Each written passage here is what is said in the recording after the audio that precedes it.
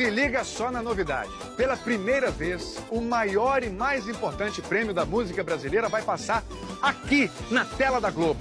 Prepare-se para curtir o Prêmio Multishow 2023. Uma edição para mostrar toda a diversidade de sons e ritmos que mexem com a gente, do norte ao sul do país, com novas categorias. Ah, e Tadeu Schmidt e Ludmilla vão apresentar o prêmio, ao lado de uma pessoa maravilhosa que é um show de eu mesmo.